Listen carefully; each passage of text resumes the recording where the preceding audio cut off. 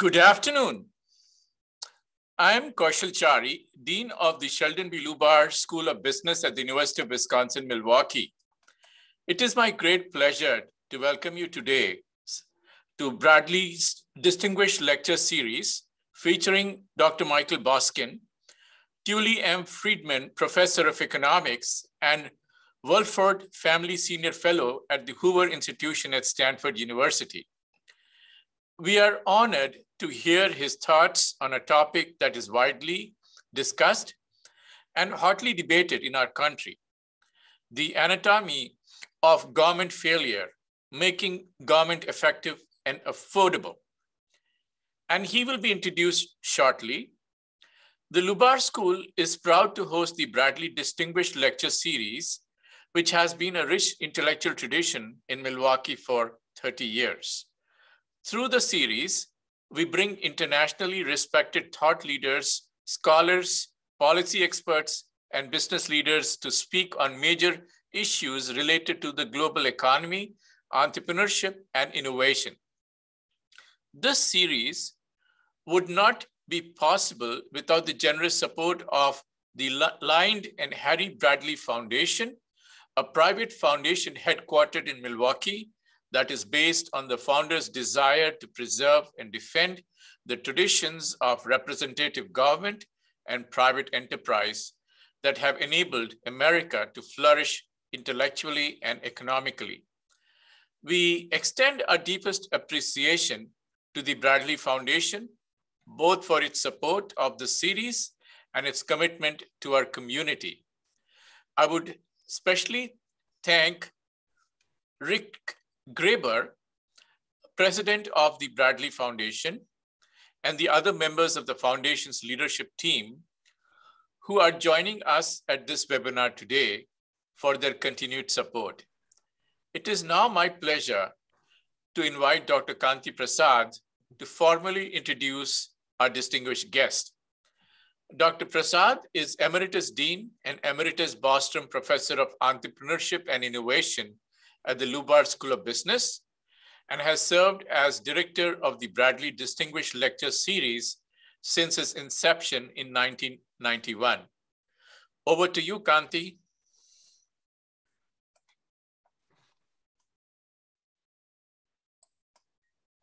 Okay.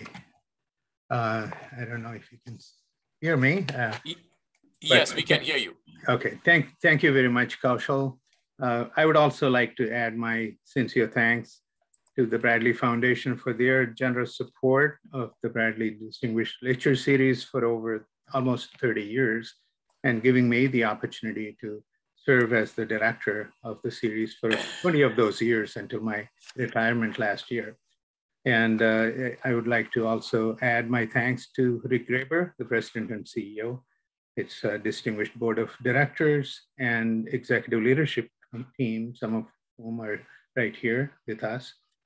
Um, I'm honored to introduce our distinguished speaker for the Bradley series today, Dr. Michael Boskin, uh, Tully M. Friedman, Professor of Economics and Wohlford Family Senior Fellow of Hoover, at Hoover Institution at Stanford.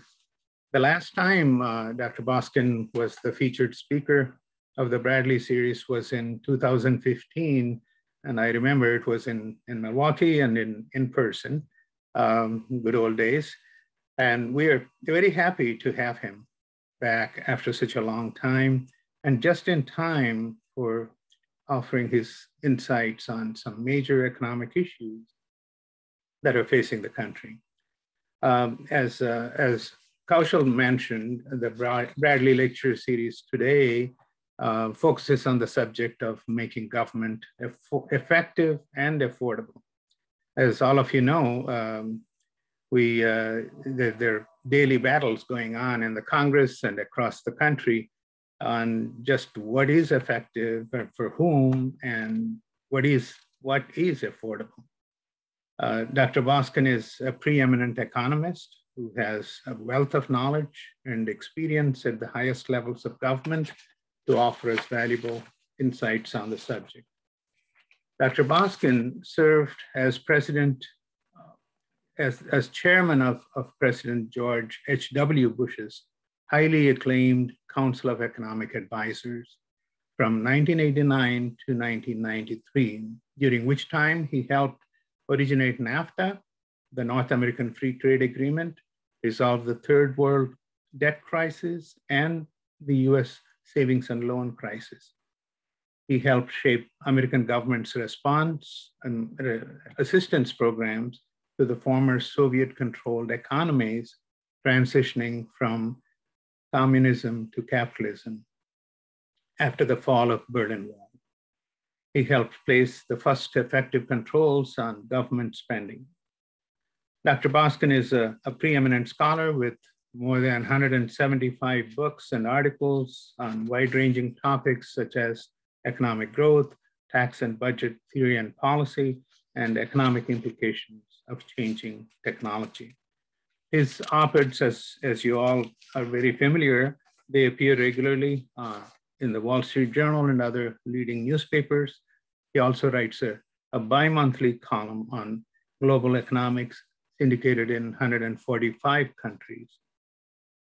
He's the recipient of numerous professional awards, including the prestigious Adam Smith Prize for Outstanding Contributions to Economics. Dr. Boskin received his BA, MA, and PhD degrees from the University of California at Berkeley. Before I uh, zoom it over to Dr. Boskin, uh, we'd like you to know that uh, Dr. Boskin would answer some questions at the end of his presentation, but you uh, can submit questions at any stage uh, during his presentation using the Q&A feature on, on your Zoom screen. So with that introduction, uh, let's extend a warm welcome to Dr. Michael Boskin. Michael? Thank you for that too gracious introduction, Kanti. Uh, it's wonderful to uh, it's wonderful to be here. Uh, unfortunately by Zoom, but better in 2D than not at all. But I hope to see all of you at some future time in 3D. Um, I've enjoyed every time I've been able to get to Milwaukee, including for uh, previous Bradley Foundation distinguished lectures. I also want to thank uh, Dean Chari for his gracious invitation, and especially the Bradley Foundation for not only uh, supporting and hosting this series, but for its longstanding, uh, my longstanding relationship with them. They support a graduate fellowship here at Stanford that I, I'm involved with on the one hand, and secondly, um, more generally for their support of sensible uh, research. And I'm gonna have to apologize. I came into my office to do this and there is some construction outside today for the first time in a month. And uh, so I'll speak as loudly as I can, but I'll apologize if there's a little bit more noise in the background than normal. What I want to do today is talk about um, a generic set of issues and a generic wide-ranging set of changes that I think would, will be necessary. They will be difficult, they will be necessary. Uh, it will be hand-to-hand -hand combat in doing any of these. But to try to change the way we make public policy, the way we talk about public policy, the incentives inside the government for making public policy, uh, I am not going to speak directly for, to a large number of policy reforms I've been involved with from President Reagan through uh, most recently the 2017 tax reform and the Middle East, the economics and Middle East peace plan in the previous administration. Uh, I have not been consulted by the current administration. Um, and they range across a wide range of subjects from monetary policy, most importantly in my, for my expertise, fiscal policy, taxes, spending, deficits, and debt, things of that sort, regulation, and things of that sort. But I'm going to focus on uh, what I believe is a generic issue and try to go over some simple basics for those of you who, uh, for whom this is a tortuous reminder of a fraction of a lecture in economics one uh, many years ago. I apologize. There'll be only one supply and demand curve put up. But I want to go through um, what I believe has become an overarching, too broad, uh, too expensive, too uh, imprecisely targeted, uh, too overbearing, too incentive destroying, and too economically dangerous um, role of government in our society.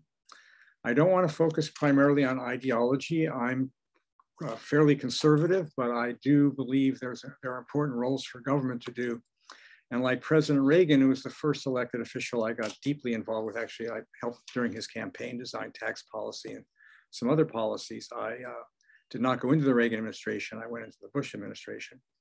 But in any event, since then, um, I've accumulated a lot of uh, experience, interaction, and developing, protecting, stopping bad policy and the like. And so I have a variety of, uh, of uh, reasons I'm doing this, but I, I, hope to do better than to play whack-a-mole at some point and to uh, improve the foundations of policy making uh, by exposing and highlighting and at times correcting uh, endemic government failures, which I'll define in a moment.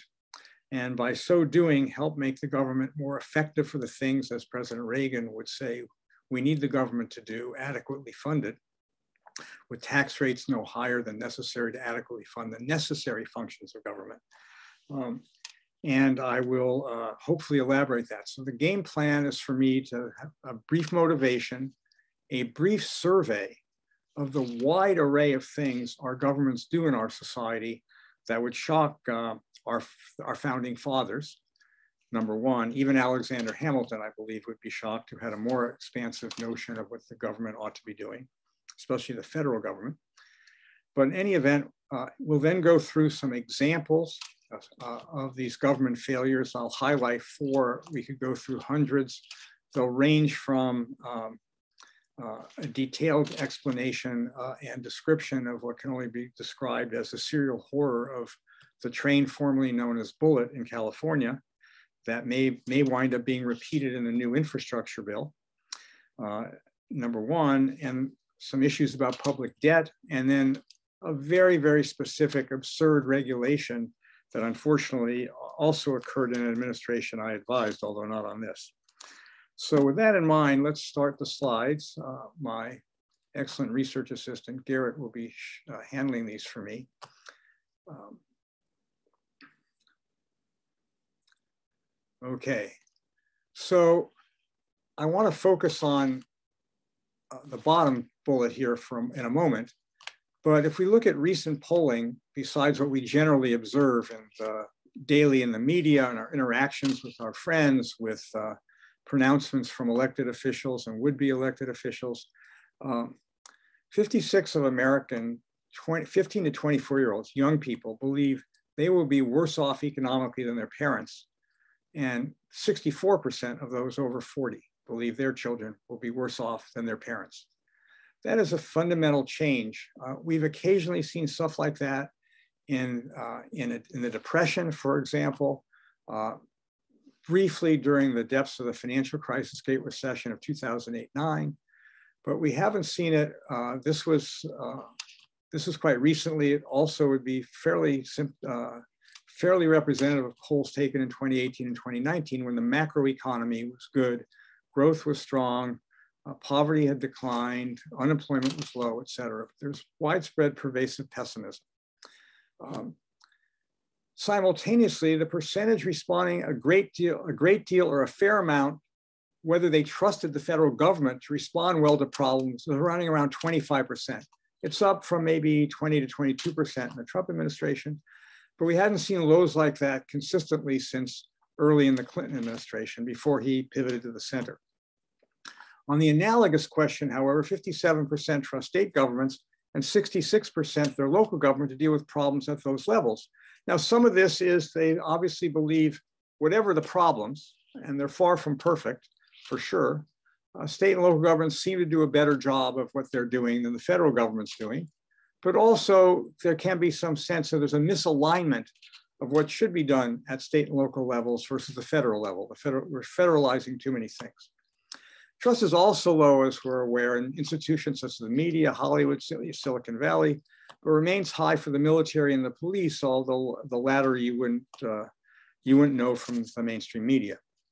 But one cause is a growing gap between expectations of, that is what reasonably can be expected of, uh, and promises made by elected officials and what is delivered at reasonable cost. Too often, government programs that promise X deliver uh, a quarter of that at four times or 10 times the original cost, or are misapplied and are targeting people that really don't need uh, the support or the temporary support and the like. So I want to explore this, and I'm quickly going to go through a wide range of items that the federal government uh, and state governments run through. So on the next slide, we'll see what do governments do? The first thing they do is they provide goods and services, roads, education, police, defense, health. Some they produce, some they pay for, produced by private contractors in defense. Uh, there's some, some private schooling that is publicly financed, but not much. Uh, there probably should be more with vouchers. Uh, roads, some of there are some private roads now, but they're predominantly publicly finan financed in the case of roads, and now with the big expansion of the new infrastructure bill, in some joint federal, uh, state, and local uh, mix. They levy and collect taxes. Uh, we all know them. Most of us, I'm sure, believe that our taxes are too high or they shouldn't be any higher in any event, especially if higher taxes don't wind up generating revenue that's used for productive purposes that we could generally support. These are a wide range at different levels of government. They differ a lot globally. The US, it's not commonly appreciated, has the most progressive tax system in the OECD because we do not have a large national value added tax, which is the way the European countries and some others uh, finance their welfare states. Uh, it's, a, it's a large analog of a national sales tax to some extent. They also transfer income and goods with temporary aid to needy families. It's a modest amount now. It's declined quite a bit since the welfare reform of 1996, which I would like to say um, and highlight was a result of experiments done by the state of Wisconsin under Governor Tommy Thompson under a waiver. And that became the national model for one of the most successful reforms of our uh, entitlement system and transfer payment system in modern times, the 1996 Welfare Reform Act. The growing earned income tax credit, which has become, for better or for worse, I think it's gotten a little out of hand, uh, a model for using the, ta the, the tax system to transfer by refundable credits lots of transfers of payments to many people, including in the proposed recent uh, current legislation up for debate in the Senate, uh, the Build Back Better plan, so-called. We can argue whether it would build or be better. Uh, in any event, uh, a lot of that is refundable credits also. Uh, it subsidizes housing. It has a, a very large food stamp program called SNAP. And of course, it subsidizes healthcare with Medicaid and Medicare and the expansion of Medicaid under Obamacare and the health exchanges under uh, health, health insurance exchanges under Obamacare. It insures socially. Uh, most of this is transfer payments, but Social Security, retirement, disability, survivors, crops, floods, bank deposits, health costs. Uh, so the government is the, the, by far the largest insurer uh, by a large multiple uh, of any, uh, any other entities that insure and it borrows uh, when it doesn't have sufficient revenue from other sources, primarily taxes, but also some sales of things, uh, to cover deficits or to finance capital spending. That's more more uh, more recently done at the more generally done at the state and local level, although there's been some at the federal level. It lends and subsidizes lending. So it borrows with one hand and lends and subsidizes mortgage, student loans, small businesses. It employs workers, clerks, soldiers, teachers, police. It owns and runs businesses. Uh, uh, the federal government of the United States has some that is partly temporarily uh, nationalized and reprivatized. In many other countries, there's much greater direct government ownership and running of businesses. we think of that in state enterprises in China, for example. But it's also true at the height of, uh, of the uh, socialization of the Mexican economy. The government of Mexico at one time owned 39 cantinas. Uh, so this is pervasive among governments all over the place. I'm going to focus on the US, but this is still being done and includes uh, being done. And one could say that in many ways, uh, the governments uh, either are big silent partners or are less silent partners in many governments, in many businesses by governments mandates, regulations, and especially sharing the tax, their profits with tax revenues. It regulates competition with various regulations, antitrust law, insurance, banking, communications, and financial market regulation, some of which conceptually make sense, some of which is done reasonably decently, and other cases has been done poorly. Uh, so we'll talk about some regulatory capture in a moment. And it sets rules, laws, traffic, environmental, corporate, international trade, election, immigration, intergovernmental relation rules and laws, and of course, those rules and laws are constantly being debated and amended at the court level, eventually at the Supreme Court level. And then finally, it regulates money and credit with uh, Federal Reserve uh, control of short-term interest rates and operating as a lender of last resort, or as some people believe, myself included, in, uh, in various episodes in the last few decades, it's become the lender of not quite last resort. So let's go on. Uh, let me remind you of Adam Smith's invisible hand. It says, uh, the invisible hand of the marketplace, the incentives of private producers trying to maximize their profits and consumers trying to do the best they can given their budget, will create a situation where the rate at which we're trading off different goods for each other guns and butter in the traditional economics one diagram, but it, pizzas and hamburgers or in-person concerts and downloads on iTunes.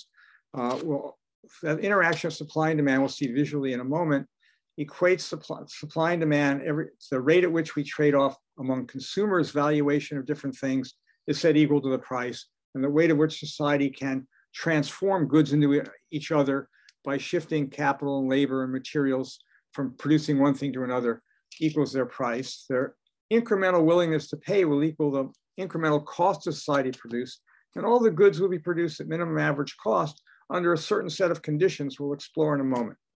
So note that prices will be conveying information to producers and consumers and provide incentives on to them about what to produce, how to produce it, what to purchase, etc. Okay, so let's take a visual look at that very quickly. I promise this is the one uh, reminder of Econ 1 you'll go through here. So let's put up a supply curve. The supply curve, it turns out, if you remember, is the marginal cost curve, what in, the incremental cost of producing each unit. And that'll trace out a curve, and that's an upward sloping curve, or maybe it's even pretty flat at some stage as a function of price. And the demand curve is just the, tells us the marginal value consumers put on each additional unit. If they if they buy an additional unit and pay that price, they're willing to pay it. If they don't, the price is too high. If they buy more, if they want to buy more than that at the current price, uh, they, may, they may have a higher marginal valuation. So the demand curve traces out the marginal value, roughly speaking, of consumers, and likewise the supply curve, the marginal cost of producers. And they wind up producing what we call an equilibrium at E, uh, at a price, uh, PE, and a quantity QE in each and every market. There are many producers, many consumers, et cetera. And that's going to have a particularly unique property uh, which we'll show on the next thing. The top triangle here is called consumer surplus. The bottom triangle, producer surplus. It tells the extra value we get by producing QE than producing any amount less than that. And uh, we'll skip, uh, Garrett, skip the others. I don't want to go through the others, but it will turn out, just go through them. It'll turn out that that's the optimum amount for society produced and the interaction, the free interaction of people producing uh, whatever they think can earn them the most profits as a producer, and consumers uh, allocating their budgets among the things they need to buy, their rent and their uh, and their clothing and their transportation and their food and their entertainment, et cetera, their education uh, for their children, all that stuff will wind up doing the best they can given their budget and will wind up this equilibrium. And the invisible hand will harmonize that through the interaction of supply and demand and that produces this incredible outcome that markets are incredibly efficient in the sense of we're maximizing consumer plus producer surplus. It's the best society can possibly do. And also, technically, everything's being produced at minimum average cost. So, this is the glory of the marketplace for economists and more generally, also obviously that it's, it's done freely by people pursuing their self-interest. Uh, and let's go on to the next slide. Let's cut through this quickly and go on to the next slide. But the market doesn't always produce uh, under those conditions. We may only have one or two or three producers of a product or a service. We debate what that, uh, whether there are, for example, right now, uh, duopolies in online search, for example. So there's a lot of talk about regulating that. But we've had traditional regulation in areas that are deemed natural monopolies that like telecommunications and other utilities that over time, technology and other things have enabled us to have more competition, more privatization and the like. So partly what's, uh, what is a competitive market can evolve over time, including with foreign competition or interstate competition and the like. But if there's imperfect competition, let's go through these quickly. If there are goods that uh, if the government doesn't finance, won't be produced in the private marketplace, something like defense, because you can't exclude people from being protected from Kim Jong-un's missiles um, if they don't pay to, to pay for defense because we can't discriminate in that way. Uh, signal scramblers enable uh, direct TV and, and, uh, and cable television, those sorts of things enable that fine distinction. But in general, for some goods, they don't exist. The private markets wouldn't exist. Externalities like pollution and congestion, we're not taking account of the extra costs we may incur, incur when we jump on a highway and wind up slowing everybody else down. There are ways to harness the market to internalize those so-called externalities external to the market uh, that economists talk about a lot. Uh, but this tends to also get overdone in the political sphere where everybody claims we need to get the government involved to do these things. Let's go on quickly. Uh, markets may not be complete, they may not exist. Uh, recently, there's been a lot of attention about imperfect information uh, that makes it difficult for people to make rational decisions or for markets not to unwind because of adverse selection of risks in insurance markets. If that's technical mumbo jumbo you didn't follow in the Obamacare debate, don't worry about it.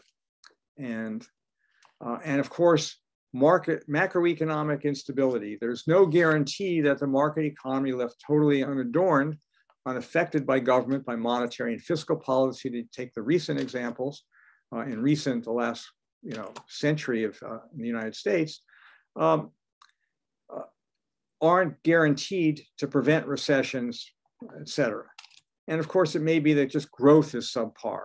That may be caused by the government, we'll see in a moment. And of course, the marketplace is uh, not directly focused on distributional considerations. If people have very little skill, uh, they're only going to command very modest wages in the marketplace. Um, and it may be that society believes that some people, because they're too frail, because of, say, they're 90 years old or they're, they have serious health impediments, that we should have some, uh, some support for them above and beyond what they've been able to provide themselves or their families can provide. And this is a big part of where the, uh, the big debate right now is should the, the, the government of the United States, particularly the federal government, greatly expand its role here uh, to move toward or even closer to a European style social welfare state. I personally think that would be a disaster uh, economically um, and uh, hope to hope we can prevent it or undo it uh, if necessary. Uh, and I'll give you one or two causes for uh, some modest optimism on that at the end of the talk. So let's go on.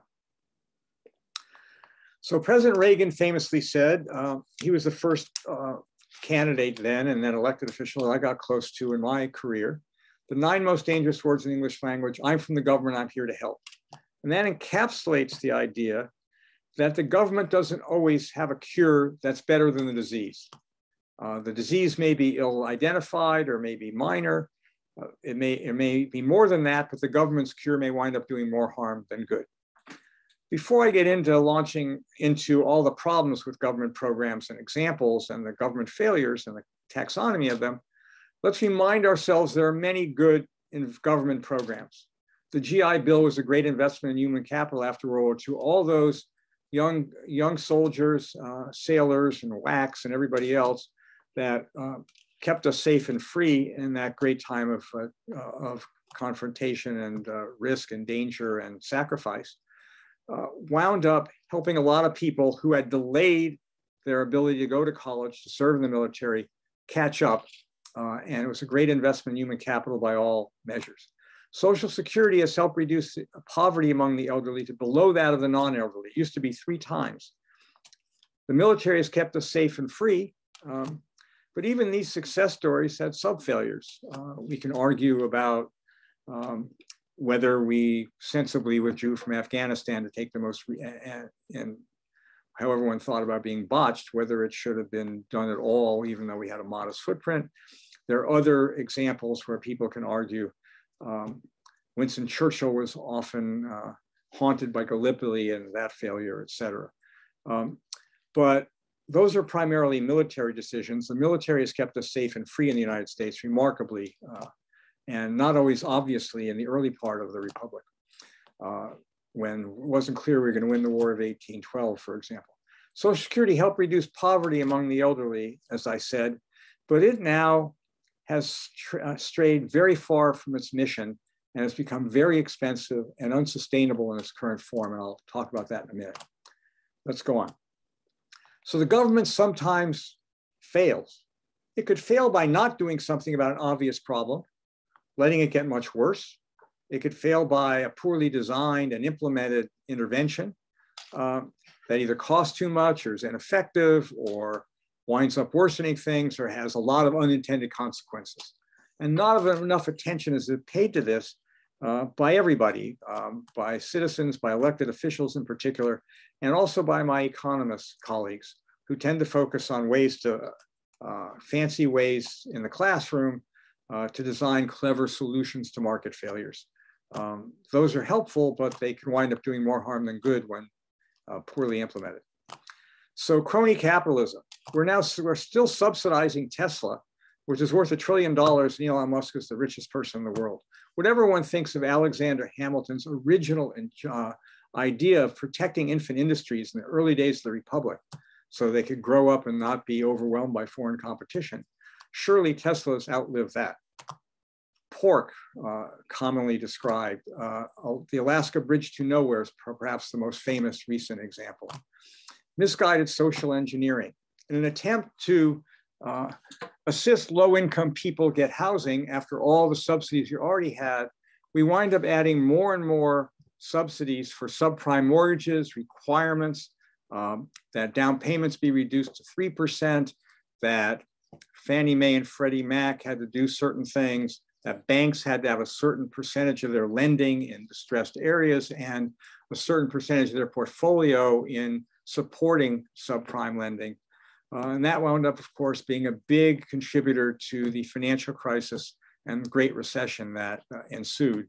Um, so this was the government, perhaps in the early days, some of these subsidies made sense, but they failed to appreciate the law of diminishing returns and kept doing more and more and more, which wound up getting out of control. Now, it wasn't just the government's fault. There were some unscrupulous people, some unscrupulous mortgage lenders, and a lot of borrowers knew that something was fishy because they couldn't get an auto loan, but they were getting $400,000 mortgages. So I'm not just blaming the government, but it set the stage for this by the incentives it created and the mandates it placed on businesses. Rent seeking and, disp and dispensing, California prison guards are paid a tremendous amount. And every year, just be, during the, just before the negotiations, um, there is a big, a big set of contributions to the governor or the candidate, et cetera, and they get paid off. Uh, I think it's as almost as blatant as that. And if you want to hear about a ridiculous government failure statistic, if you think of nothing else about a mismanaged state, imagine California spends $81,000 per incarcerated inmate. That is more than the median income of a family in California before paying taxes, federal and state, and all those other things. They're before tax market income. Uh, it's just way out of whack. Regulatory capture in the run up to the financial crisis, when the investment banks are getting more and more leverage, Lehman, uh, Bear Stearns, et cetera, Morgan Stanley and Goldman Sachs escaped by getting under the wing of the Fed. They weren't as leveraged.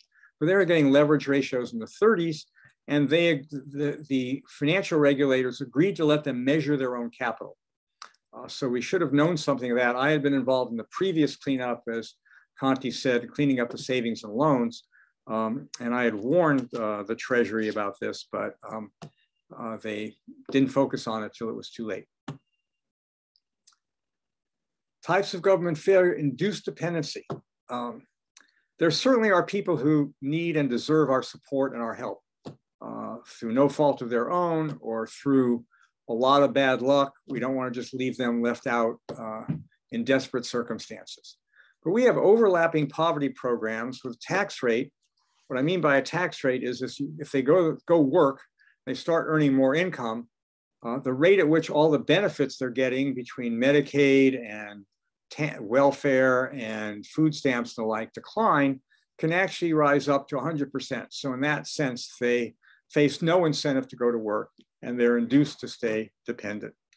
Uh, so there's a lot going on in rethinking that. Uh, one of my favorite Wisconsinites who uh, I got to know back when he was a staffer for Jack Kemp and then wound up uh, rising all the way to Speaker of the House, Paul Ryan, uh, spent a lot of time thinking about how to redo these and has a project now thinking about how to do them. I've come to the conclusion that we need to basically collapse and eliminate most of these and replace them for people who are able to work with uh, subsidizing wages at the bottom. So people are in the marketplace in working and all the social benefits derived from that rather than being home collecting checks uh, with the same income. Uh, outright corruption, uh, I know you need to look no further than slightly to the south to Illinois and Rod Blagojevich and George Ryan, who wound up in the slammer for their corruption. Uh, there have been lots of arguments about the Lincoln bedroom and other situations that uh, we can argue crosses a line. It's not as severe, obviously, in the United States or in the United Kingdom, and there still still exist, and there are obviously gradations, but it's not as severe here, obviously, as it is in lots of other societies, where what we think of as corruption is deemed as normal practices that you're paying people to get a lot to get your goods in, in through the port, uh, through customs, or that it's uh, considered normal that your cousin or your brother gets the contract. Um, waste and fraud, uh, California's Employment Development Department set a new recent uh, record for fraud. It wound up having estimates as high as 30 billion, but documented at least $20 billion of fraud in the last 18 months with the expansion of unemployment insurance during, um, uh, during the COVID epidemic. And some of that was going to inmates in Florida prisons, to Nigerians, et cetera. Uh, it's quite remarkable. Michigan has documented 4.1 billion. Many other states have them. I'm sure there's a, at least a little bit at Wisconsin. Hopefully it's better run than that. We'll talk some about how this occurs a little later on, but this is the same EDD that while allowing all that fraud, had many, many, uh, had over a million uh, claims for unemployment insurance uh, backlogged for months at a time when people were desperate in the early days of COVID. And mission creep, Social Security for higher incomes. FDR's mission for Social Security was, quote, to secure a measure of protection against poverty ridden old age. It certainly has mostly succeeded in that. But if you had the maximum taxable earnings throughout your career, which would be $140,000 or so now, non-trivial, but not, uh, not Jeff Bezos for sure. Um, if you were at that level, uh, which would put you in the 85th or 90th percentile of, uh, of earnings or something like that, um, you would be you would be eligible to collect double the poverty rate just in your Social Security benefits, not counting other pensions and savings. So a lot of mission creep has become very expensive in order to buy votes. As my colleague uh, John, Show, uh, John Cogan has uh, demonstrated in a great book called The High Cost of Good Intentions. It's about the growth of the entitlement state. Let's go on. Governments also tend to wait until they're forced to act in elected societies. We have this continuing resolutions, debt ceilings, and these long battles over everything. It's difficult to commit future legislatures. It's difficult to bind a future legislature. They can always enact a new law that undoes an old law. But increasingly, budget gimmicks are trying to force this with phase outs and uh, and triggers and all sorts of things like this, where it becomes more difficult to undo something. Uh, future generations undo something you haven't paid for in particular. Future generations don't vote except as their interests are reflected in their parents or grandparents voting. So deficit spending has become explicitly or through gimmicks the default option for spending increases and tax cuts. So I had supported some of those tax cuts and continue to believe we should reform our tax code to have lower rates on a broader base of people and activity. Uh, but in any event, deficit spending has become the easy way out and increasingly disguised until it actually, in the passing of the legislation, until it eventually shows up. And they also systematically ignore long run costs to provide short run benefits, the unfunded liabilities of Social Security and Medicare, underfunded state and local pensions, deferred maintenance. For example, the previously mentioned Employment Development Department of California is still using 1960s hardware and software, uh, which is possible to maintain as part of the reason we have all this fraud. And we had recently a disaster at the Oroville Dam where the causeways uh, uh, leaked. We had to, uh, we had, broke. We had to evacuate a quarter of a million people. It's now going to cost billions of dollars to repair.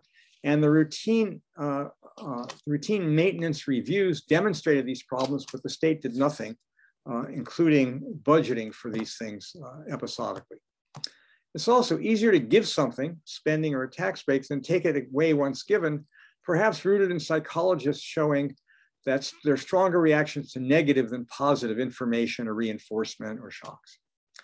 There are two examples, I was involved in both of them, that were shut down. General revenue sharing, which President Nixon in, in, uh, enacted in the 1970s, to send more money uh, than traditional to lower income states, generally in the South, with the hope they'd spend more money uh, on services for poor people. That probably didn't happen as intended.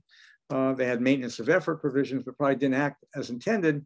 In any event, made the local politicians popular having that extra money to dispense to run against those congressmen and women in the subsequent elections. So it was, it was eventually, after a few years, disbanded. The other that I'm aware of is the Resolution Trust Corporation, which we set up to, uh, to acquire and dispose of the bad assets of the uh, insolvent savings and loans. And we put in some very special features that made it very difficult for do anything other than self-immolate. Uh, but generally, it's very hard to get rid of a program once it occurs. They're reformed, they're adjusted, they're sometimes scaled back. I'll talk about that toward the end. Finally, they try unsuccessfully to circumvent the laws of economics, even something as basic as supply and demand, and even the laws of arithmetic. President Biden ran around saying his plan cost nothing, zero. Uh, very strange. Um, but any event, that's an extreme example. There's a lot of other jerry rigging of numbers. Um, they enact programs, especially in boom or crisis, with large unintended consequences. When we're in a deep problem like the COVID crisis or the Great Recession, or far worse, the Great Depression, uh, when there was far less of a safety net, uh, and it was much worse. Uh, when we're in that sort of a crisis, the humanitarian need is exigent, uh, and it's hard to imagine a time when you won't need something. Uh, and so it's difficult to have these programs automatically expire, or they tend to be extended if they're not made permanent, extended for too long a period. Uh, but in a boom, there's an analogous or mirror image problem. Everything seems affordable. So in the 60s, with the economy in a boom growing rapidly, people were extrapolating that growth over decades, and they didn't uh, assume that we'd have problems uh, funding our entitlement state. So we, we developed Medicare, we expanded Social Security in the early 1970s uh, and the like. And that was a time of very different economic which was probably predictable, and demographic, which was surely predictable, circumstances with a much higher ratio of workers to retirees than was going to occur through time. And we should have known these would be unsustainable in the long run, but uh, they were built in to grow and grow and grow and are still set to grow and grow and grow. But the main point is the bottom line in evaluating any government program or policy or proposal, you need to compare the likely effect of the actual policy in the real world not the theoretical thing Boskin or his colleagues or his intellectual opponents draw up as a suggested solution of the imperfect government interventions that occur all the time in the real world to imperfect market outcomes that occur in the real world. Now let's talk about some of the consequences. They're big. I'm not going to elaborate them in detail, but the first and most obvious is they fail to address potential problems adequately or at reasonable cost. Second, they waste resources. Most obviously, duplicative programs are endemic in government, especially in the federal government. There are 46 separate job training programs in nine agencies costing over $20 billion a year, most of which don't keep track of their, of their people who go through them or are their graduates produce very poor, get very poor results. So obviously great opportunity to consolidate, modernize, update, spend half the money, help many more people actually get jobs that exist in the real world, not the dreams of some uh, social engineering bureaucrat. They undermine trust in government, including support for the important programs that governments do, defense and others, okay?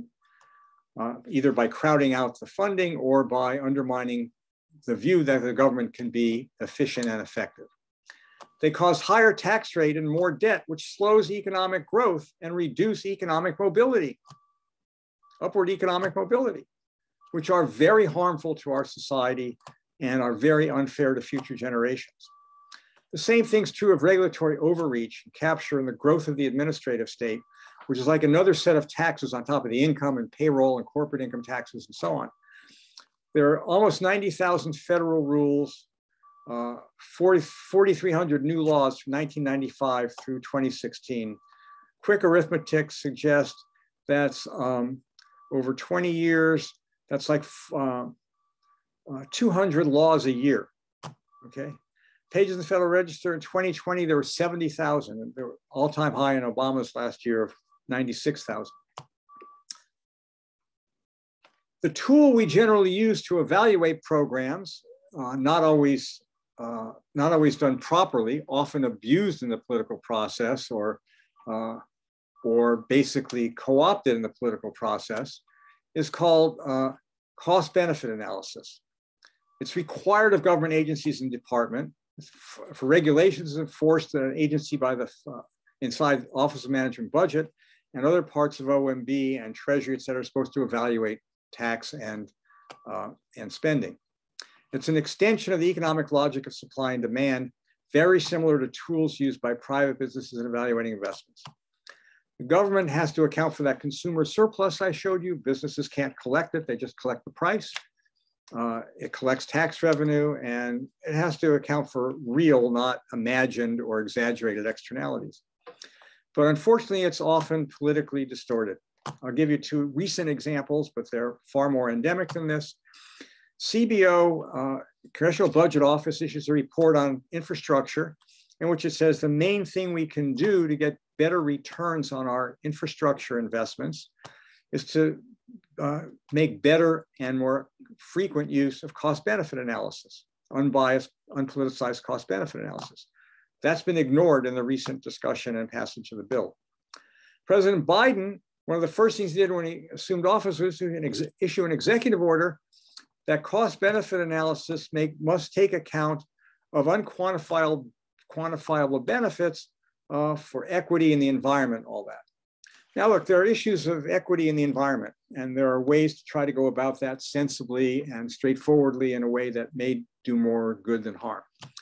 But this is just an invitation for the bureaucrats to say, uh, I'm going to kill this thing I don't like because it doesn't do what I want to do on these things. And that's even getting to the level where it's being demanded of the Federal Reserve uh, add mandates for um, inequality and climate change to uh, what it's doing on uh, employment and inflation. So this is something that I think is a very dangerous move to uh, radically uh, uh, distort and co-opt cost benefit analysis. Let's go on. It's also important to realize the true cost of government spending, taxes, and regulation. The aggregate cost of regulation of the economy is well over a trillion dollars per year. So that's roughly the revenue from the payroll tax, for example. Uh, there's been this tremendous growth of the administrative state, um, which uh, continues to proliferate rules and regulations. But the most fundamental point is it cost it costs society more than a dollar for the government to raise a dollar. This is not adequately understood, is often ignored, and not commonly enough expressed. Okay. First, obviously, there are costs to administer and to comply with the tax system. If I had been giving this talk in last March or early April, you had been very familiar with uh, the costs you're dealing with to comply with uh, the income tax or your business taxes. Okay, billions of hours are devoted to that, which are a cost. But worse yet, taxes distort incentives in the economy. The income and payroll taxes distort incentives to work and for firms to hire. Corporate taxes reduce incentives to invest uh, and therefore expand the capital stock and make our workers more productive and increase wages and incomes in the future. And the economic cost of these taxes, this is the main point, rises with the square of tax rates. It doesn't just go up if the tax rate goes up. If the tax rate doubles, the harm quadruples. It's important to appreciate it. It's not a doctrinal issue. It's taught in every introductory economics course. It has to do with the area under demand and supply curves. In the simple linear example, the area of a triangle. Uh, but in any event, let me not get into the technical thing. Please trust me on this. This is widely accepted and understood by economists. Some choose to ignore it, but it's, it's a simple basic fact. Okay, so uh, this is important to appreciate. Now, let me finally, before I get to examples, um, get to how policy is implemented and it's identified by elected official, uh, interest groups, and amplified by the media. Okay, we have an issue, maybe it's a problem. A response is proposed in legislation or regulation. Sometimes it's based on, often loosely tied to analogs taught in classrooms. Maybe these people have remembered from their college course, they have advisors. Elected officials, candidates campaign on generic response to these issues. George W. Bush had some very general things he wanted to do about rebuilding the military and so on. Mitt Romney had a 57 point plan in a book before he published, right before he announced his candidacy. Uh, so those are examples, but this is, uh, you know, Biden said he was going to deal with climate change and a lot of other things. And then he and Bernie Sanders had a concordat and they agreed on a variety of things they would do. Some fraction of worked their way through Congress and administrative agencies. The laws passed, but increasingly it charges agencies to write more rules about how it was implemented. They'll say the Secretary of HHS shall write the rules to, in, uh, to enable this particular provision. The rules and regulation are often posted for public comment or review, which may or may not result in adjustments. The private sector responds to the laws and regulations. Actually, they may have started to do so in anticipation. This often results in complaints and lobbying, some valid directly or because of unintended consequences, and sometimes inducing or forcing changes or reversals. Sometimes they end up in the courts, which would take a long time and require the rules or regulations be canceled, reversed, or reconsidered. Uh, and finally, the cycle is continuous because few issues, problems, government responses wind up being unchanged over many years. Um, so this is a cycle that repeats. So my point is at every point in this process and every link in the chain, there are avenues for things to go wrong uh, and for things to wind up deviating from what might be a well-designed, effective, uh, con con uh, con uh, contained, cost-effective response to a problem. So examples, high-speed rail in California is perhaps the single worst uh, example uh, at the state level in recent years. And I'm sad to say it's my home state of California, which used to be an example of better government decades ago. The proposed, the host, proposed high-speed rail was supposed to go from San Diego to Calif San Francisco. In 2008, the cost was supposed to be 33 billion, expected service starting in 2020, and voters approved $9 billion for bonds on the assurance the rest would come from the federal government and the private sector. In 2012, the cost estimate was raised to 100 billion. That produced an uproar. 3x, we haven't even started yet. And the High Speed Rail Authority soon thereafter had another press conference and said they had gotten the cost down to 68 billion. When asked how that happened, the reply was was due to the optimism of our engineers. Honest to God. Buried in the report were substantial changes. I'll mention how they got down to 68 in a moment uh, and it's just an outrage. Today, the projected cost is over 100 billion. It faces an uncertain start date. They've got a little bit going in the Central Valley, but the full program may or may not ever get off the ground. When drilling was started in the Tehachapi Mountains north of LA, in an area that had never before been seismically mapped, it was slow and there were tremors. They had to cancel that part. And the rail authority said, we'll shift the first segment to go from the Central Valley, from the Bakersfield, Fresno, Merced area to San Jose, south of San Francisco, rather than Los Angeles. So far, some work has commenced on a proposed leg between Bakersfield and Merced, but has been plagued by delays and cost overruns. In 2015, Governor Newsom, apologies for the E, that's a misspelling, agreed to go ahead with the initial leg to avoid returning 2009 Obama stimulus funds. Let me dwell on that.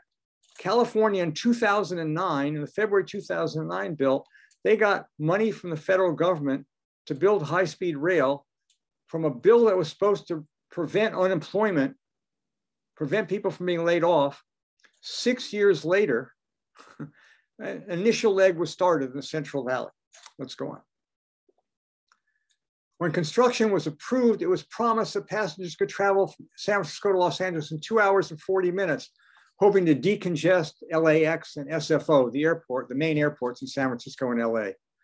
Trains would be operating at speeds higher than almost all systems in the world, including in Asia and Europe, where they're going over denser corridors than in California.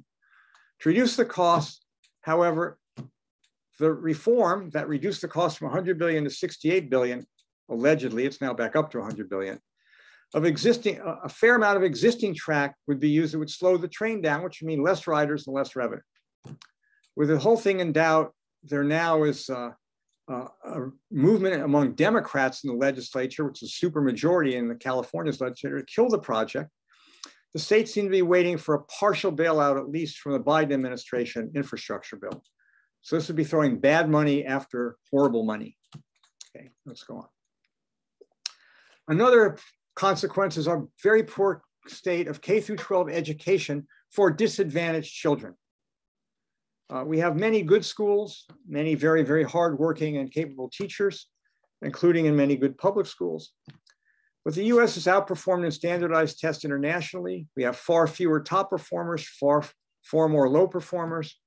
In my home state of California, eighth graders, just under half meet English standards. It's a majority minority state now, so perhaps some of that's understandable. Just over a third meet math standards. Pardon me, for minority students in big city public schools like Los Angeles public schools, it's far worse than that. And there are several San Francisco high schools, for example, where not a single minority student has passed even one AP STEM class with a passing grade um, in several years. So we're badly failing. There are many reasons for these problems. Not all of them are the schools, not all of the school. The teachers unions, I believe, are part of this problem. They're not the only thing. Some of it has to do with what's going on earlier in the home and a variety of other things of that sort. But we're doing a poor job. Governor Brown decided the way to deal with this would be to shift funding, a lot more funding to low income schools from the standard formulas that have been previously used. But so far, there's been no apparent improvement. Maybe over time that'll happen, but so far, this seems to basically accomplish zero for the bucks that are being spent. And my Hoover colleague, Rick Hanushek, estimates last year's COVID school shutdown will cost students over 3% of their lifetime income from all the education they lost that they won't fully be able to catch up on, uh, which is would really be uh, dramatic and a problem, even if it's only half or two thirds of that number. Uh, so this is, this is a partly government failure. This case uh, K through 12 education, which is heavily a state responsibility in California, state funded now as they've expropriated the property taxes and left much less local control to local schools. Let's go on. Uh, this is just a graph illustrating the point I must just showed that our mean scores are around OECD average, but not, not good relative to many countries we compete with. We have a very small, too small a share of uh, top performers to uh, sh highest share of low performers relative to the OECD average in most of the countries we compare ourselves to. Regulation. Okay.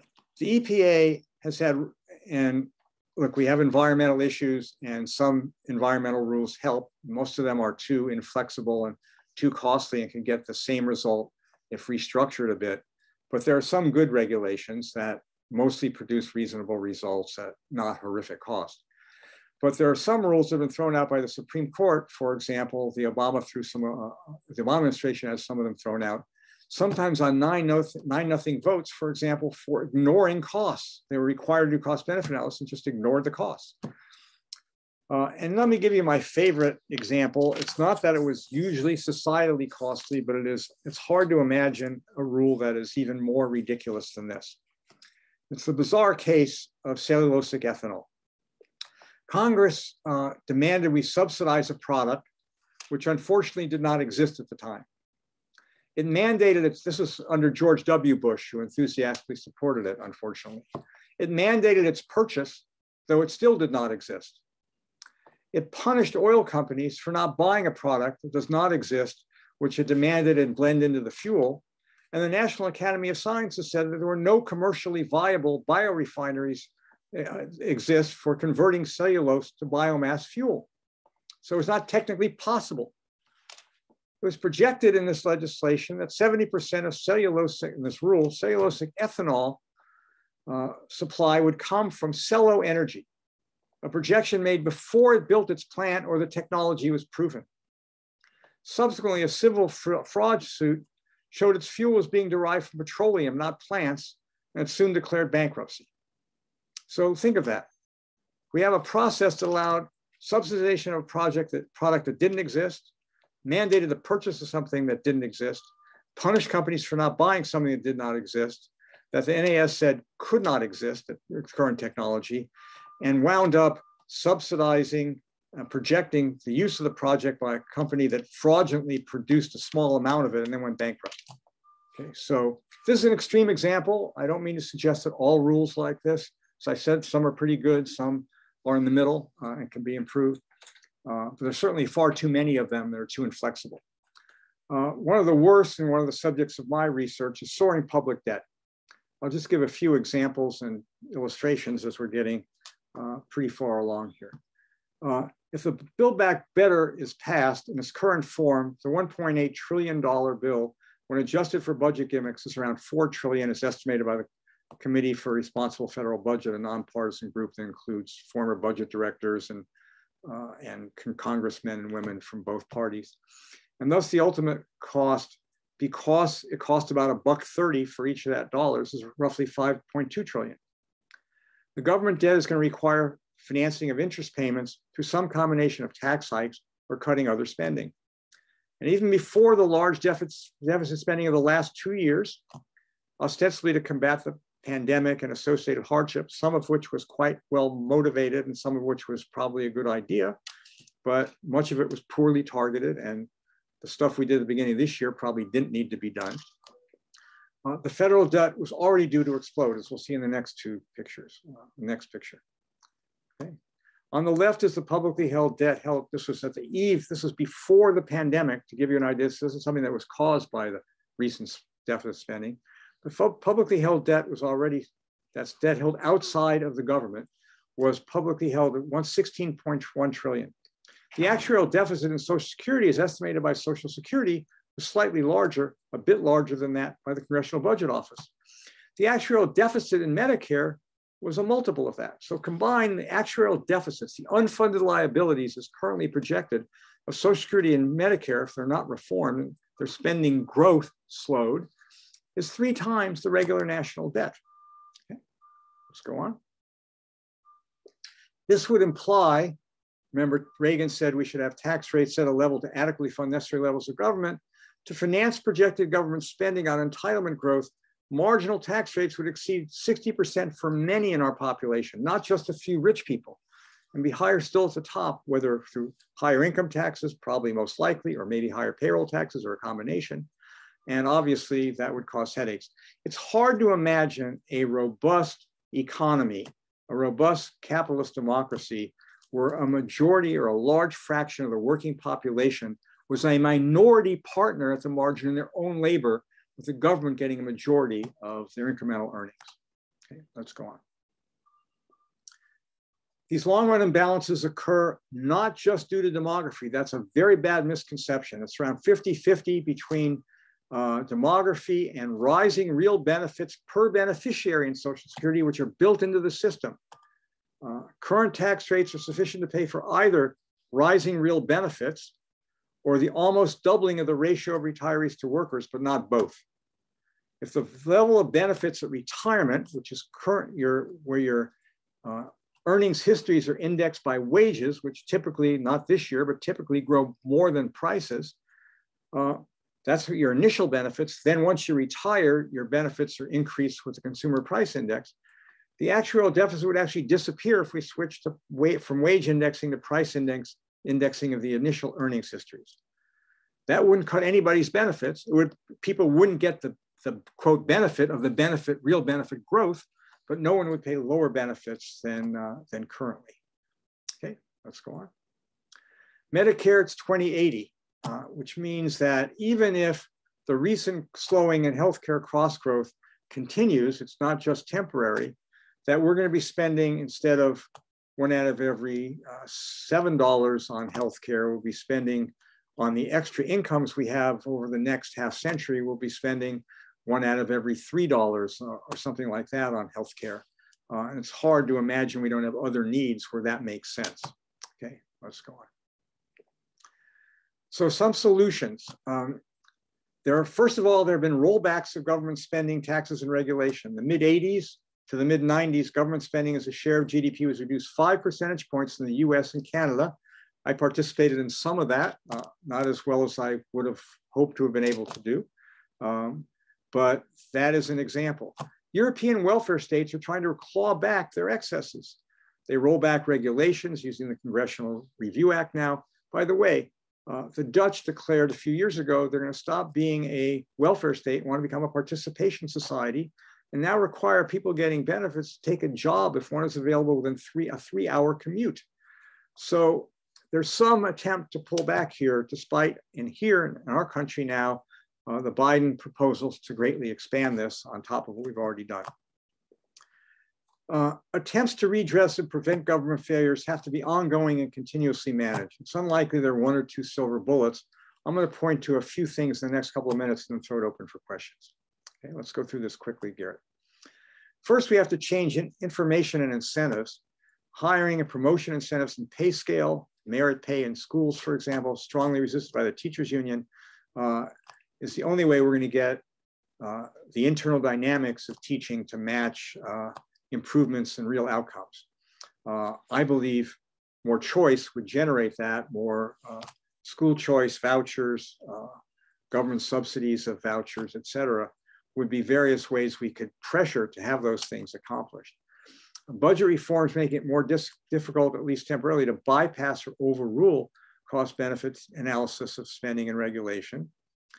And also devolution uh, more to the states. Uh, there have been some ideas about this. Nixon had some, uh, President Reagan had some that didn't go anywhere. Alice Rivlin, a, uh, a Democrat, head of the OMB and CBO, um, uh, proposed some in a book uh, uh, in the early 1990s about adjusting responsibilities, reducing the role of gov federal government in lots of things, and um, block granting more stuff. The 1996 welfare reform was one shining example of that, where there's a block granting with far fewer uh, restrictions on funds to the states for welfare.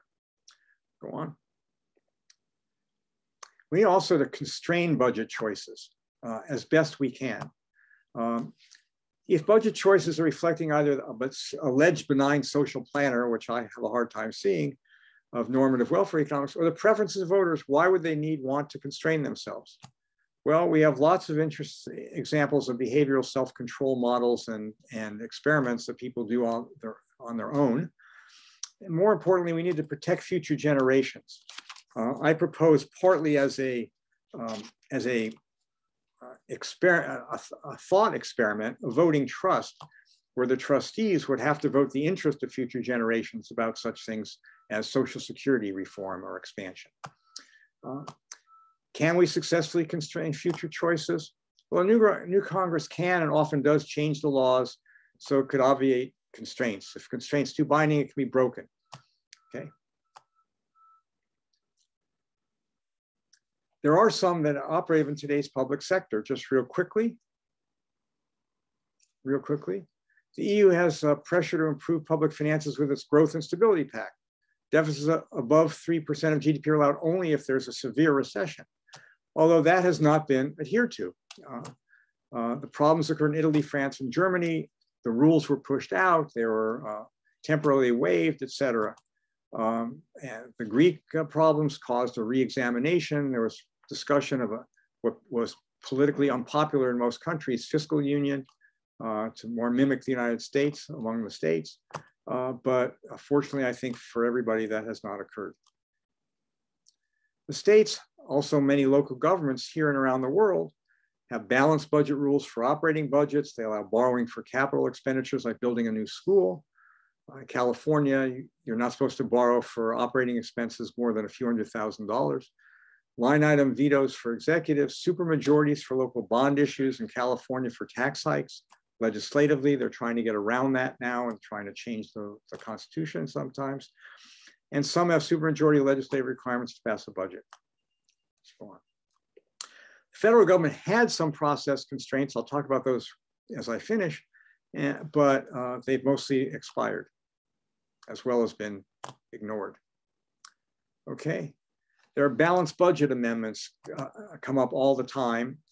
A bunch of states has have ratified a balanced budget amendment. We're nowhere near what's necessary to pass one.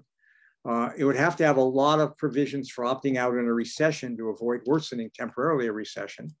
And there'll be a lot of debate about what counts as spending and what counts as taxes to measure. Uh, we don't have a line item veto. President Reagan demanded one, but the courts have ruled that's an un, uh, that's violating the separation of powers. We have put explicit spending caps, which have temporarily uh, temporarily been adhered to. We've had pay-as-you-go rules that required any spending, uh, entitlement spending hike or a tax cut to be offset by other tax increases or spending cuts. Those were renewed on several occasions and at times have reappeared briefly, but they don't exist now. Uh, supermajorities, as I mentioned, there's quite an intellectual foundation, unlike the discussion we see in the popular media, for supermajorities. Uh, consider the following thought experiment. Something is worth doing for society, which implies in some sense that the benefits of society outweigh the cost.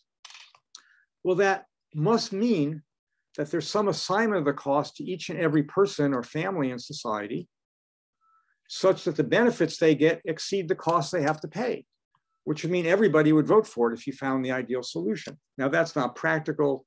The great Swedish uh, philosopher and economist Knut Wicksell, over 100 years ago, uh, came up with this idea and had a qualified majority. Uh, but that idea suggests that for many things the government does, we ought to force the legislature to find a way to pay for something that actually um, leaves most, if not all people better off. Not to just fund things with the existing, uh, existing payment system or to raise taxes on one group to fund another uh, that's getting little benefits other than um, uh, a bad outcome. So there's intellectual foundation. I don't have time to go into it. We're about to conclude. And we have to do a much better job of managing government agencies and programs. I helped uh, Bush 43 uh, design something of this sort that he ran on and put something in um, and there are regulatory budgets uh, that um, are the analog of regular budgets that expose these costs. There have been use of the Congressional Review Act, a two for one rule. You have to get rid of two rules for every one you put in, but of course you could have one with a lot of costs and two with a little. Um, but importantly, we need to start getting some independent cost benefit analysis that can't be, that at least is publicly presented before anything is voted on and has to be absorbed by the elected officials and uh, by voters. Let's go on. Uh, and of course, debt limits, sequesters, continuing resolutions all exist in the real world. So the reforms include just reinstating these things or amendments of them that have worked in the past. Uh, some have proposed a biennial budget cycle, so Congress could work on the budget one year and then evaluating the programs to be able to get rid of the ones that don't work anymore or reduce them or reform them in the other. Um, that's, that's a potential. A lot of states do that, uh, and that seems to do better by them. They sunset provisions for programs and regulations we don't make nearly enough use of, uh, other than now it's becoming common budget gimmickry in the reconciliation bills. zero-based budgeting, it's too often the case that we look at increases in spending or how much it's going to rise from the current level uh, rather than how much of the current level is justified. Phil Gramm was a big proponent of that. A separate capital budget, if we can figure out ways to avoid it being uh, co-opted, where we actually dealt with things like deferred maintenance, um, dealt with things like not updating your IT infrastructure and so on uh, and the like, and requiring supermajorities, um, which would probably require reforming the Budget Reconciliation Act, which I think um, has been greatly abused and is about to be abused again, probably. It also, as I said, is, has a close relationship to benefit taxes, uh, taxing people who get the benefits like roads, taxing the gas tax or vehicle travels tax. And then finally, line item veto, there probably are ways to get something that can pass muster in the court, but it wouldn't be a direct line item veto. Uh, constitutional amendment, I've already mentioned. Those are all ideas that are out there. Some are being proposed. Let's go on to the conclusion. So the current attempt to radically expand the federal government's spending, taxes, debt are likely to do considerable harm. Worse yet, they're being accompanied or there's a backdrop of an assault on meritocracy, even objectivity in teaching math, and that success is somehow racist, et cetera, are insidious. As Adam Smith wisely observed, it is not from the benevolence of the butcher, the brewer, the baker that we expect our dinner, but rather from their regard to their own self-interest. That's the most insidious assault that would do the most harm to our societies, undermining people's desire and incentive to improve their lot. A successful society, in my opinion, needs an effective government doing the things we need the government to do well, adequately funded. But our government has become too large and too sprawling. I hope I've at least begun to get you thinking about if you hadn't already. It's become the first rather than last resort in addressing too many problems. It does too many things poorly, too expensively, and winds up both harming private firms and families unnecessarily and undermining support to adequately fund the essential roles of government. Preserving a robust capitalist democracy will require continuously mobilizing intellectual ideas and political support for implementing and defending reforms necessary to get the government back to a more reasonable keel. Okay, so thank you very much. I probably went a little bit over, but I'm happy to take questions and I hope I've at least uh, got you interested in, in supporting people who are involved in or proposing to do these kinds of reforms. So Michael, we do have a few questions from the audience and um, I'll uh, forward this one to you first uh, related to the voting trust idea. Do people really vote in their own self-interest? If I already do my best to vote with the interest of my children or grandchildren in mind, would a voting trust be an extra finger on the scale that overrepresents the interests of the next generation? That's a really perceptive and important question. So, first of all, I think on balance, people do, but I think we all wear many hats. And which, uh, and when we vote, we tend to vote for people who represent packages of ideas, which include some of the things we support, some we don't. Uh, many people are saying that um, the parties have moved too far to the extremes, although they mostly support most of the ideas of one or the other. Uh, in my view, it's not it's not symmetric, but I think many people would argue it is. So where does that leave us? Um, it, it suggests that um, direct democracy, voting on each item individually, is probably not a wise idea for many reasons, including those of Madison about the passions of the moment. Um, but uh, we don't usually vote for a particular reform that will have this. It's for somebody to represent us on that. And they may or may not be closely aligned with it. They, what we wind up voting on may be part of what we want and part of what we don't want, et cetera. But I think by and large, on balance and over time, votes reflect people's interests. Now, those interests aren't necessarily their pure economic interests. It could be cultural, religious, um, uh, other types of issues that uh, that uh, involve their uh, their fundamental values about things. Um, you know, I, am willing to pay taxes that do a good job of helping people that are in distress, even though that's not directly in my own economic interest. Uh, so, but in general, I think yes. On the double on the double finger on the scales, The question is how much uh, uh, the elderly, current retirees, or people who know they'll be retired in the near future are reflecting the interests of their children and their grandchildren or uh, generations unborn. And there, I think the problem is we don't directly control that. Um, we can control that through our own private behavior, how much we leave, you know, whether we, as we're getting late in life, whether we use up all our assets and leave our children nothing, or we leave them a bequest or something like that. But what we're doing is voting on something to the general population, which not, which isn't entirely in our interest. So I think I think the voting of parents and grandparents is only partly reflective of what may affect their children and grandchildren, where a voting trust might be more directly. So the answer is yes, but maybe it winds up, or constrain it, but maybe it wind up being 1.1 or 1.2 times, not double. Um, we have another comment that says uh, to you that your comments ring true with many of us in the audience. What can you suggest uh, as to how to be effective in making changes to a very large and very broken system? Well, I think you have to uh, figure out who you can support and how to make those changes. Some of you may decide to run for a local school board. It's become a very controversial issue in the country these days. Some of you may eventually decide to run for office. Some of you may support candidates for office that support um, not only um, a more modest and better targeted and more affordable, but a more effective government. Um, that was my view of what Paul Ryan was trying to accomplish, for example. Um, others may have other ideas in that regard, uh, but there are also movements and ideas and institutions, many, by the way, supported by the Bradley Foundation and people supported by the Bradley Foundation, trying to generate these ideas and suggestions and, uh, and mobilize support in favor of them.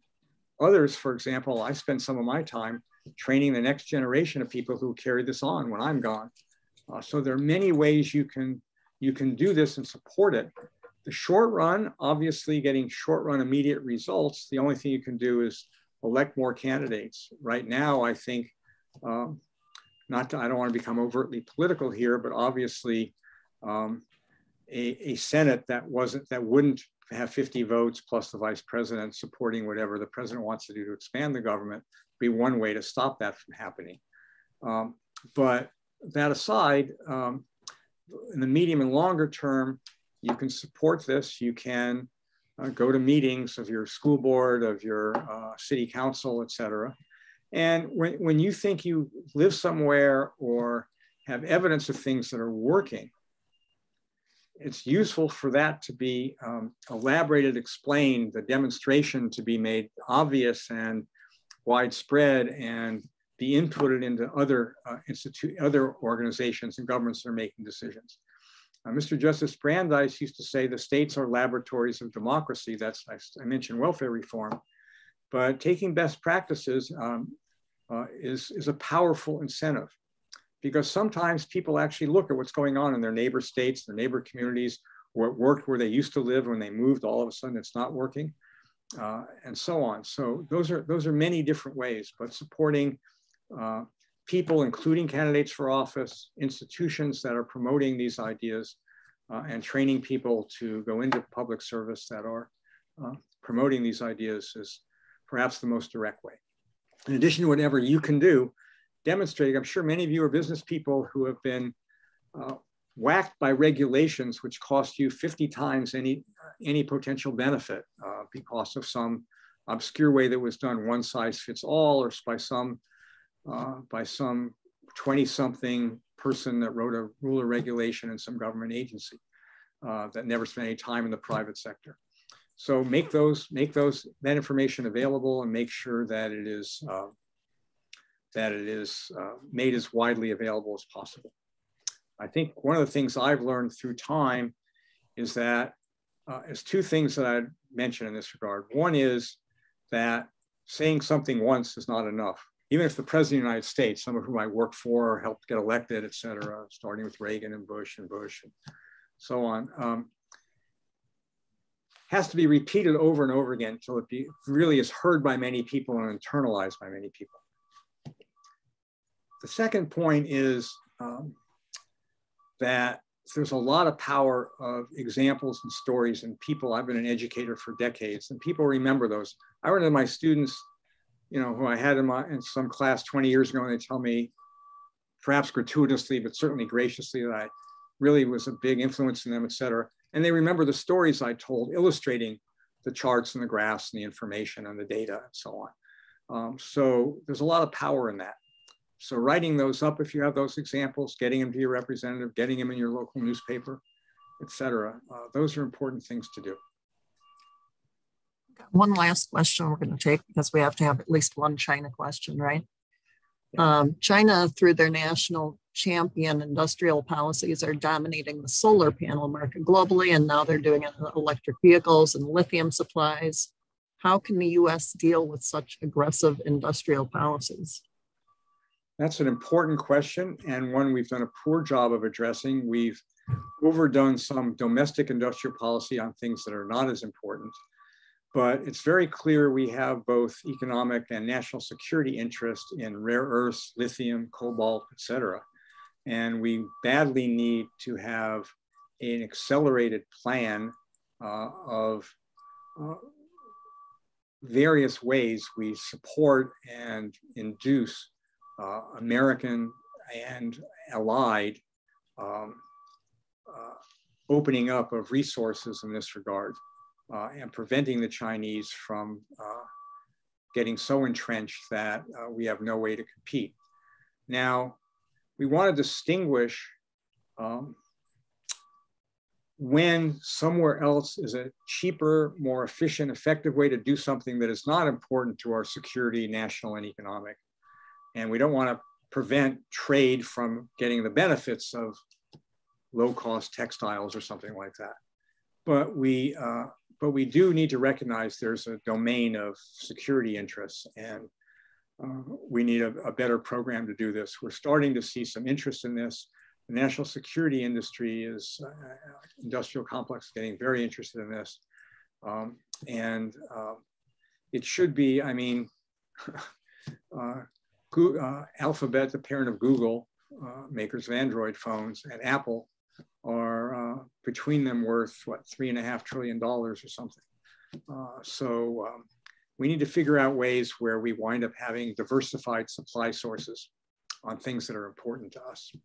And we also need to um, promote the idea in places where the Belt and Road Initiative is, uh, starting to take hold about the future costs these countries are going to do in being locked into China and having large debts to China when things go badly uh, and, uh, and the like, uh, which is already starting to occur in some places. And, um, and they need to take those into account when they're making these decisions. Um, I do not believe that the answer is a widespread national federal government industrial policy spanning lots and lots of things. I think it really needs to be confined to the areas where there are legitimate security interests. And there it needs to be done not only well, but adequately funded to the extent federal funds might be necessary. Wow, what an insightful talk uh, today, uh, Dr. Boskin. And I really want to thank you uh, for all the information that you have shared with us. And we need to really take time to digest and reflect on that. So thank you so much uh, for this discussion today. And these topics are of great importance to our nation and and we are really uh, very honored uh, to hear you uh, on this. Again, thank, we want to thank, thank, you very much, Dean Chari. I really appreciate it. I apologize. I went a little over when I expected and have enough time to take questions. But if you've accumulated some questions that I didn't have time to answer, if you send them to me, I'll respond and you can share them with your the guests on the call. Wonderful. And so uh, I, we want to also thank again uh, Bradley Foundation for sponsoring this wonderful and informative series. And, and last not but not but the least, uh, the audience, thank you so much for attending today's event. And this is a recorded event and you will find uh, this recording available on our web website uh, in, in a few days. So thank you all and have a, a wonderful day.